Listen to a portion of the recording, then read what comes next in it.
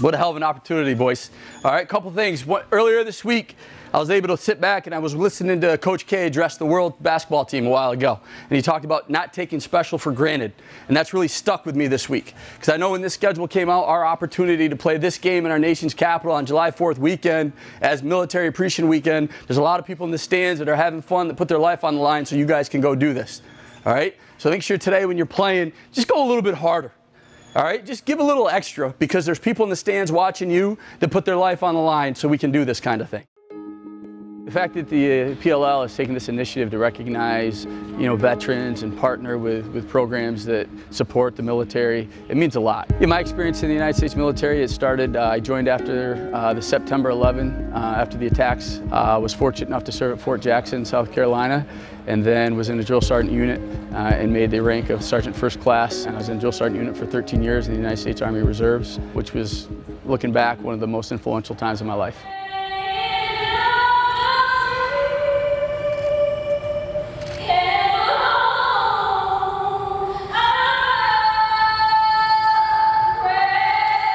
United States Army taught me discipline and it taught me how to be motivated. And I try to be motivated and live life to the fullest as much as I can and bring a ton of energy. And you know there's an old saying in the military anything in life worth doing is worth overdoing. Moderation for cowards. And that's something that's really stuck with me and I lead my life that way. Set the tone early right? Pick up these ground balls get up and down the field. If your hands are free let it fly. Hey have some fun. Anchor this team like we've done all year. Hey every week we get to prove we're the best defense in this league. Let's go get it again. D on three. One two three. The military has had a huge huge impact on my coaching style and my philosophy. And there's a standard that you're trying to reach. And in order to do so, you have to have discipline and you have to pay attention to detail. And that's something that I personally take a tremendous amount of pride in. Trust one another, fly around. Hey, Let's just get it done. Let's just get it done. All right, here we go. Roll Woods on three. One, two, three. Roll Woods. Through the full 12 minutes, Salcido and other ideas. It goes right to Heningburg for the win. And the Woods are rolling. Three straight for Redwoods. Redwoods, baby. That's it right there, kid. Let's go. Let's go!